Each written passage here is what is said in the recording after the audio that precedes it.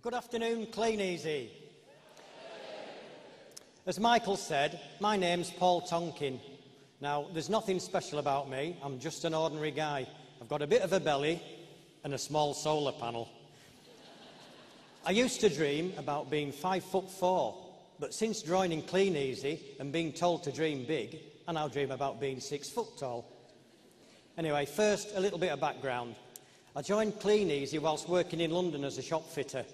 Because of the nature of the job, I kept moving. That meant blanket dropping new areas. I could only put out 150 catalogues a week, which I did in the early morning, and my order value was always around £150 a week. It took me over a year to reach the 10% level. Now, you didn't expect that, did you? And by then, I'd moved back, to London, uh, back home to Lancaster, still only able to put books out in the morning. After being laid off as a bathroom fitter, I decided to go full-time with Clean Easy, as at 53, who employs someone my age?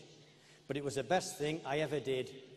I spoke with my upline, Dave Birtwistle, and we put a plan together, which was so successful, I earned over £9,000 in the next 12 weeks. I was gathering... Thank you. I was Gavin's top retailer for three consecutive periods, and that was in 2006. I had a fantastic customer base which paid me well and gave me as much time off as I wanted, especially after I met Joe in May 2008. In June 2009, I left England to live with her in Guernsey. I took the Friday afternoon ferry and arrived in Guernsey at tea time. By the tea time Saturday, I had all my books out.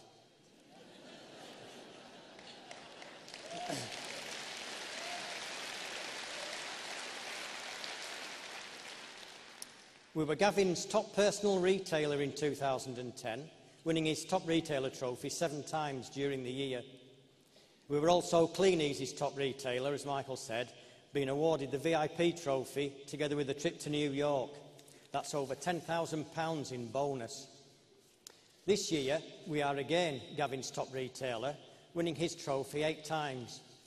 In the last two years, our income has been in excess of £70,000, with our own personal retail accounting for more than 60,000 of that.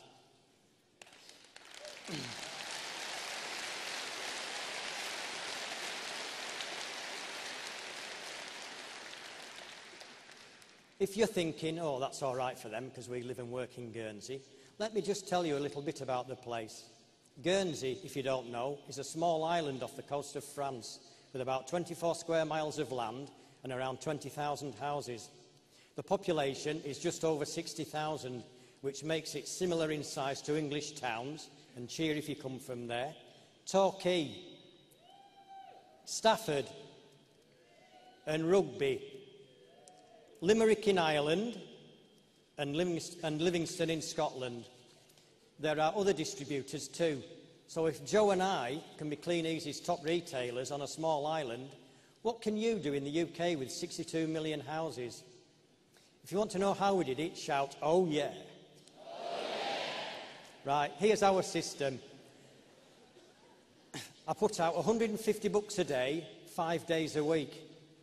I did this persistently and consistently for the next 18 months. Joe turns the books around and gets the orders ready for me, which is a massive help, and I'm asking for your help now. Would you please say, after the count of three, thank you, Joe, you're a star, and give her a massive round of applause. You ready? One, two, three. Thank you, Joe, you're a star.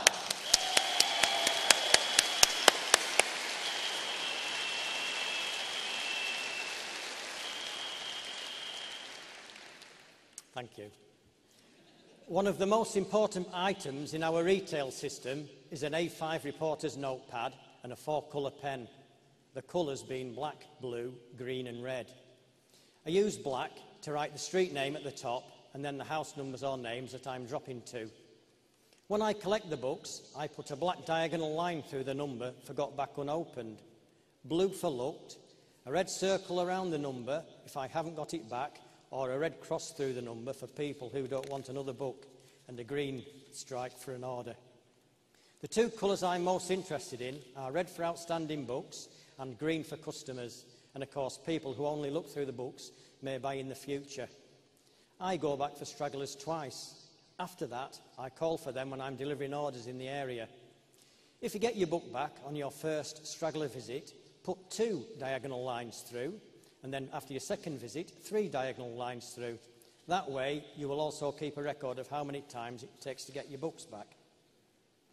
When I write up the addresses to go around next time and get to a previous buyer, I put a green dash above the number or a red one for an outstanding book.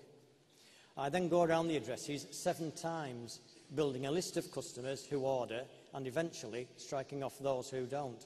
If you do the same, you'll create a fantastic customer base which you can list on your computer.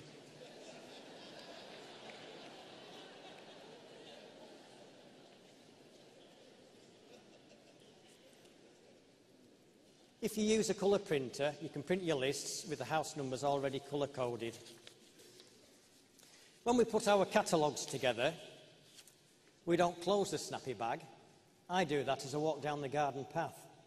To stop the bag from splitting, I put the snappy end through first. Never ever put your fingers through a letterbox without first holding it open with your other hand. You never hear the dog that bites you. When I collect the catalogues, I open every bag there and then and look at the order form. This saves us a massive amount of work later. It's easier to open the bags on the way up the path than it is to do it at home. Also, you don't miss any orders or those without an address.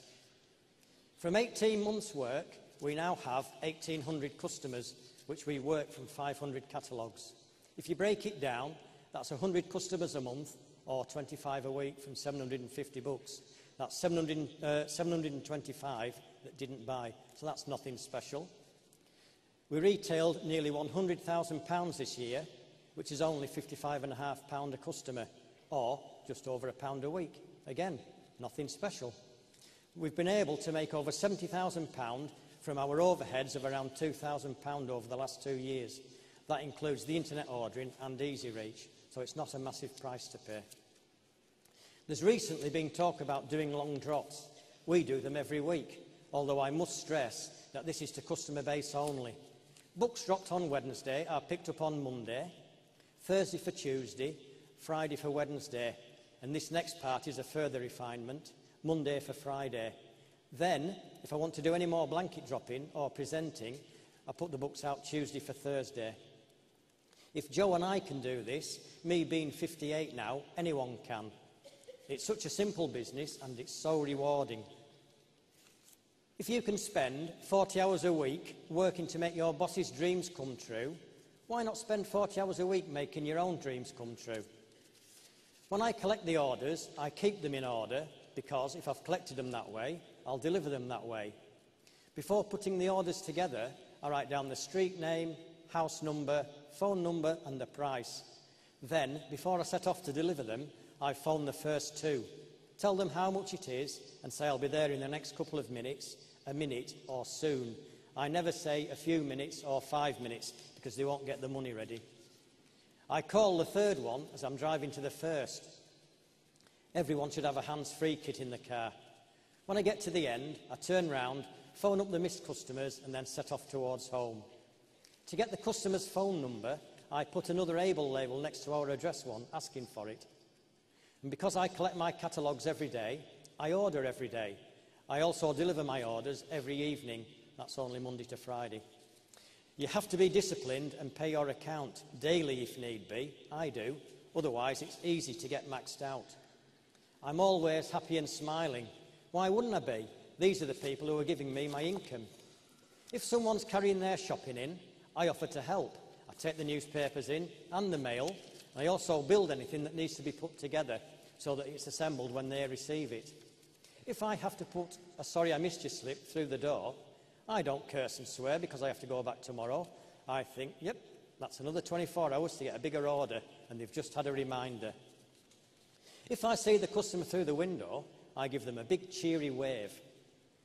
We're all in this business to make money.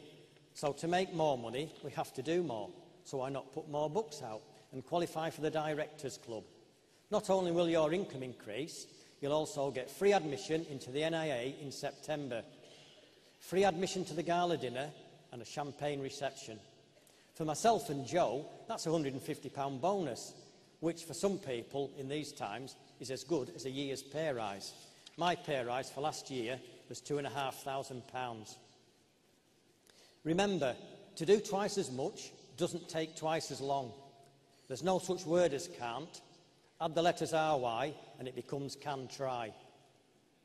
For this next part, you can't really tell anybody, or else they'll just take advantage. But take the word no out of your vocabulary. You'll be surprised at how much happier you will feel. Be polite. Politeness costs nothing. Ignorance you pay dearly for. And never be grumpy. People hate being around grumpy people. And there's no such thing as inclement weather, only incorrect clothing. So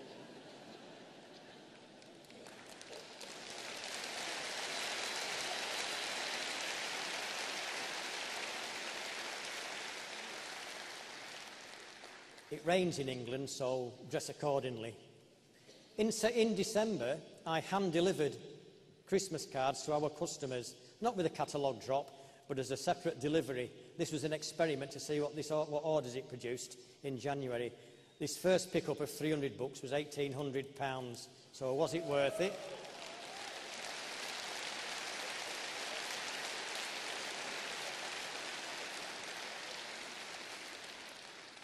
Now, here's a thought to leave you with. If you want to earn a million pounds in your working life of 50 years, you need to start work on your 15th birthday and earn £20,000 every year until you retire on your 65th birthday. If you're not on £20,000 a year now, your chances of earning it are very slim. Clean has made quite a few millionaires and it's going to make quite a few more. So, you know you're in the right place, at the right time and in the right business. And now, for the biggest tip that I, can any, that I and anyone else can ever give you is never, ever quit. Thank you for listening and come on, the winning team.